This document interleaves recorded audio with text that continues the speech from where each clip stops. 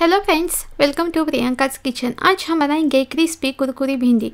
ये कुरकुरी भिंडी आप स्नैक की तरह चाय के साथ भी खा सकते हो। तो चलिए देखते हैं क्रिस्पी कुरकुरी करारी भिंडी बनाने के लिए हमें किन किन चीज़ों की आवश्यकता होगी।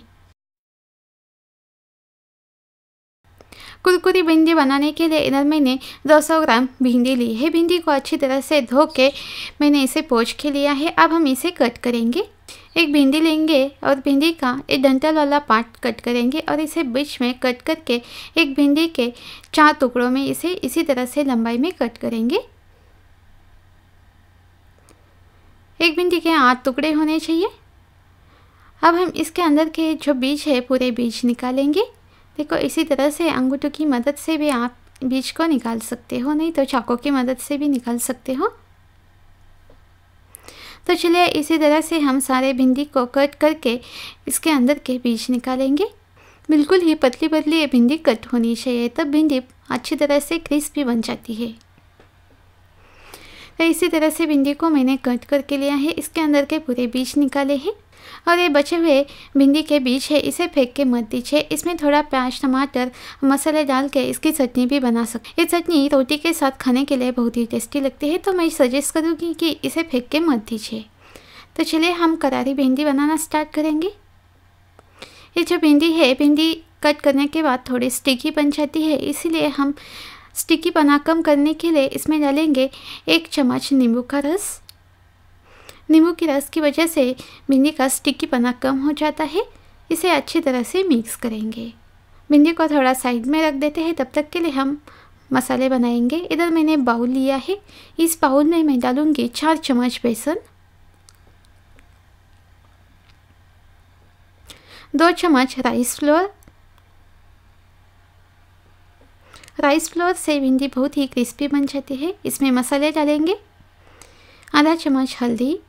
एक चम्मच लाल मिर्च पाउडर, एक चम्मच धनिया पाउडर, आधा चम्मच बुना हुआ ज़ीरा पाउडर, आधा चम्मच गरम मसाला। इसमें डालेंगे आधा चम्मच चाट मसाला।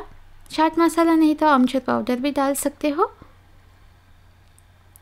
और इन सारी चीज़ों को अच्छी तरह से मिक्स करेंगे। ध्यान रखें, मैंने इसमें नमक नहीं डाला है, नमक हम बाद में डालेंगे।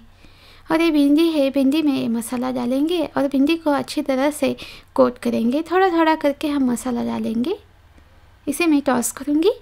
जैसे हम मैरिनेट करते हैं, बिल्कुल उसी तरह से ही भिंडी को ये मसाला लगाना है।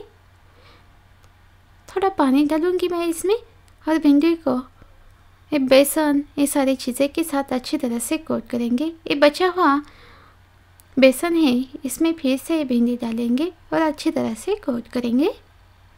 तो इसी तरह से बन के तैयार है। अब हम इसमें डालेंगे टेस्ट के लिए नमक। ध्यान रखें, नमक थोड़ा ही डाल दीजिए क्योंकि चाट मसाला में नमक होता है। इसे मिक्स करेंगे। तो कुरकुरी भिंडी बनाने के लिए हमारी ये भिंडी तैयार है। अब हम इन्हें तलेंगे। भिंडी तलने के लिए गैस के ऊपर मैंने पैन रखा है और पैन में तेल डाला है। तेल अच्छी तरह से गर्म हुआ है। एक भिंडी डाल के देखते हैं।